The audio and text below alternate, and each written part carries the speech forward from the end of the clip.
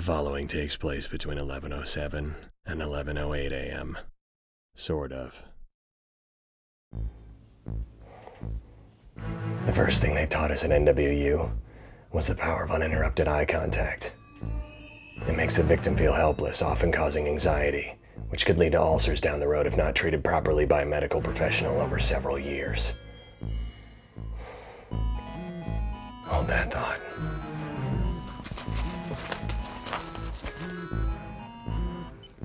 This is Power. Stack, things are getting really bad here. Is the president safe? For now. But listen, I just got intel from a super poke on Facebook that the Armenians are behind all of this.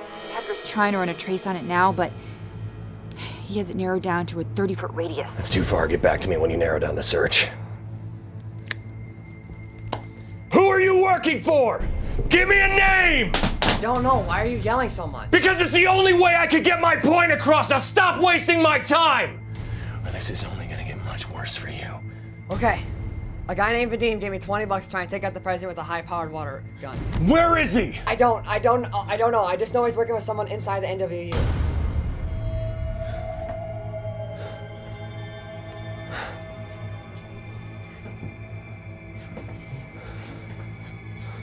Who?